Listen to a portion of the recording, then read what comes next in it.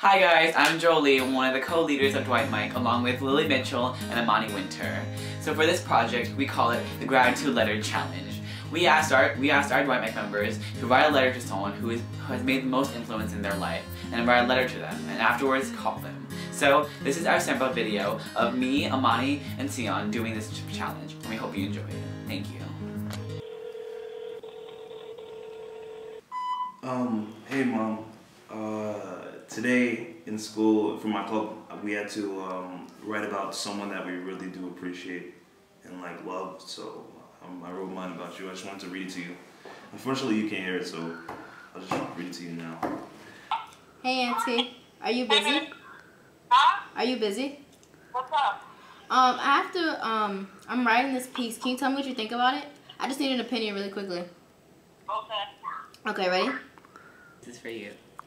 Dear Nune, you have been the biggest piece of my life. You already know how much I love you, but I cannot tell you enough. I don't know how to describe our relationship. First, you're the queen of duality, as no one could ever fit so many extremes into one soul. I just wanted to tell you that every day you make me smile. No matter how I'm feeling, you find a way to cheer me up. I know recently we've had our differences. Arguments between us have been more and more vocal, but I don't ever want you to forget that. I really do appreciate you.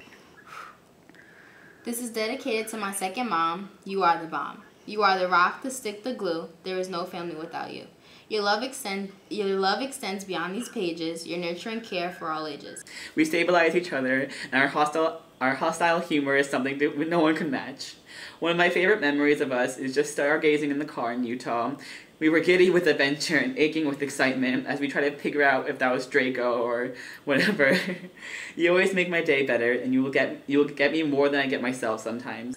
Have I told you I loved you today was the question you would ask every day before I skipped to my kindergarten class. And even though you barely and even though I barely see you caught up in this high school rush, I stand proud with the pillars you instilled in me, never in a fuss. This is dedicated to my second mom, my dearest auntie out there. Like, you sum up basically 80% of my personality, and you are the strongest person I know, and the wisest of the wise. You've taught me how to live and, and be myself. I couldn't be the person I am today without you. I just want you to thank I just want to thank you for every day of my life.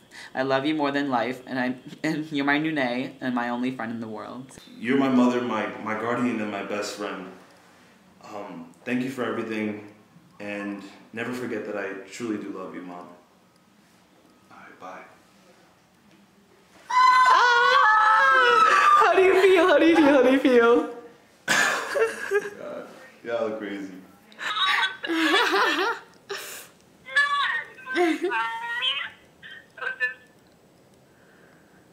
You was my ride and die. Thank you. Then I'm going to be taking you in college